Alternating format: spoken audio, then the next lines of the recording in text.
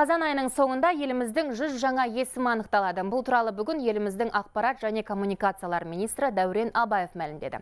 Сала басшысы рухани жаңғыру бағдарламасы аясында қолға алынған істі жүзеге асырушы сарапшылық топ өкілдерімен бас қосып, алдағы мақсат міндеттерді айқындады.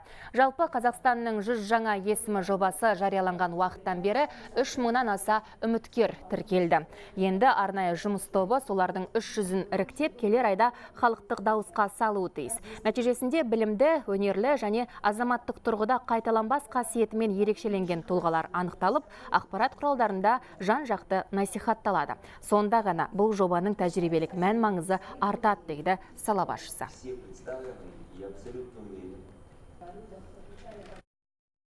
үш мыңға жуық адамдардың осы ә, одан да үш мыңнан асады мынау тіркелген азаматтар ал енді жаңа табыстарының тарихы олардың өмірбаяны олардың жүрген жолдары туралы ә, жаңа айтып кеткендей екі екі мың екі жүз он екідей мұның барлығы да әлі талқыланады То, что они попали Қазақстанның жүз жаңа есімі жобасына ұсынылғандардың барлығы елге белгілі адамдар.